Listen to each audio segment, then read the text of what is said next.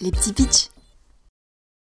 Salut à tous et bienvenue dans Les petits pitchs. Aujourd'hui, on se retrouve pour parler d'Alice is Missing. C'est un jeu d'enquête narratif silencieux. Ça se joue de 3 à 5 joueurs, la partie dure 90 minutes et c'est pour les 16 ans et plus.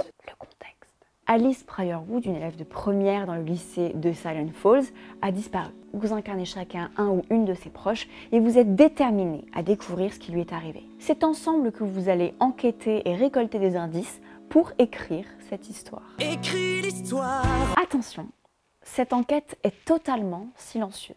Jusqu'à la fin de la partie, vous ne communiquerez que par message. Donc les pipettes de service, vous allez être obligé de fermer votre gueule. Il n'y a pas de bonne ou de mauvaise réponse. Le but est de créer une histoire immersive ensemble. Vous vous connaissez tous et vous êtes tous liés grâce à Alice. Vous avez chacun une relation différente avec elle. Vous aurez le choix entre son grand frère, son amoureux transi, sa petite amie cachée ou encore sa meilleure amie.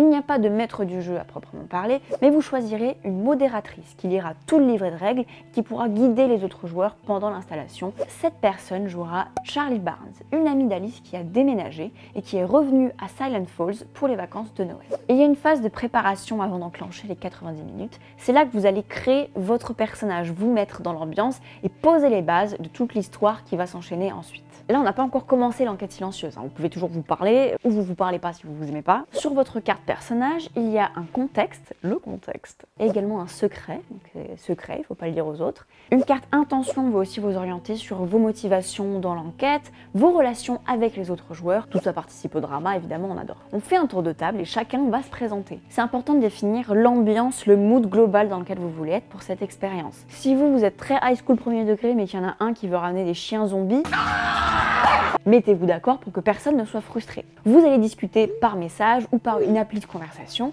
Ce qui est important, c'est de changer vos pseudos. On veut une immersion totale. Dernière étape de la préparation, vous allez chacun enregistrer le dernier message vocal que vous avez envoyé à Alice avant de savoir qu'elle avait disparu. Dans ce message-là, vous allez introduire votre secret, comme si vous lui laissiez un message sur son répondeur. Au début de la partie, vous choisissez chacun un suspect et un lieu qui pour vous sont des bonnes pistes pour la disparition d'Alice. Ça va aussi vous aider à cerner votre personnage. Pourquoi ce suspect? Pourquoi ce lieu? Qu'est-ce qui fait que ça a un lien avec votre histoire personnelle avec Alice? C'est vraiment du jeu de rôle accompagné. Les cartes indices, donc les cartes bleues, ont des numéros qui vont de 90 à 10. Sur chaque carte indice se trouve une information pour vous aider à avancer dans l'enquête. Ces cartes doivent rester face cachée jusqu'à ce que le minuteur atteigne le nombre inscrit au dos d'une d'entre elles. La carte 10 est au milieu et les autres vous les distribuez entre les joueurs.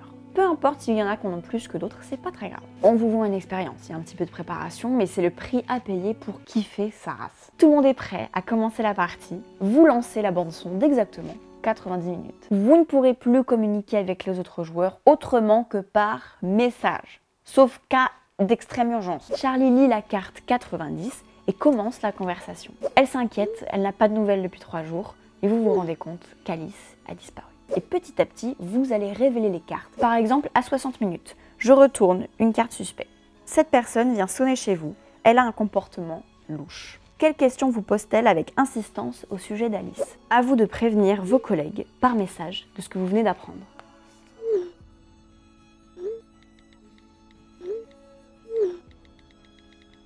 Laissez le temps aux autres de répondre ou à vous de réfléchir à vos hypothèses.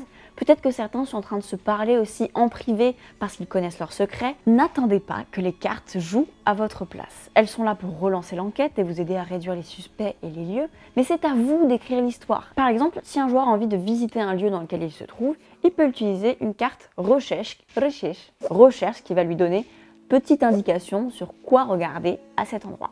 Ça peut partir dans n'importe quoi ou être très sérieux, c'est vous qui voyez. Faites attention aux triggers des uns et des autres. C'est un jeu qui fait appel à vos émotions, peut-être à votre vécu, même si vous jouez un personnage. Si la conversation dérive sur quelque chose que vous ne supportez pas, vous pouvez envoyer un X. Les autres joueurs doivent changer de conversation. Vous pouvez choisir de vous isoler si vous le souhaitez pour ne pas voir les autres. Il faudra juste revenir à la table pour tirer votre carte indice suspect ou lieu. Cela dit, il y a aussi une version en ligne qui existe pour être totalement séparés les uns des autres. Quand le minuteur indique 0, vous pouvez vous dire au revoir et dire au revoir à vos personnages avant de revenir à la réalité. Il y aura forcément une conclusion qui sera différente à chaque partie que vous ferez, mais là vous allez pouvoir débriefer, bah, vous rappeler de ce qui s'est passé au début de la partie, mais quand toi tu m'as dit ça, je pensais ça. Vous allez pouvoir écouter les messages vocaux aussi, qui vont peut-être vous révéler des choses que vous n'aviez pas compris au cœur de la partie. Vraiment cette impression de dénouement après un film. Ceux qui sont rebutés par le téléphone, je vous jure que c'est magique. Ça enlève complètement la barrière de la timidité dans un jeu narratif normal où vous devez expliquer ce que vous êtes en train de faire. C'est une révolution dans le jeu de rôle pour les introvertis.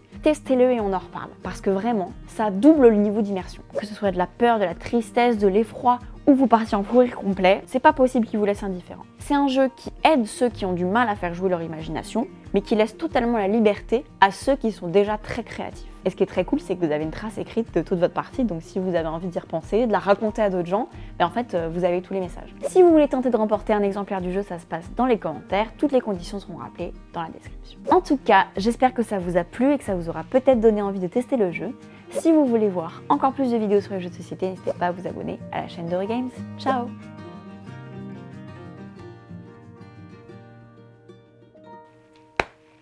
Trop bien ce jeu. Trop bien.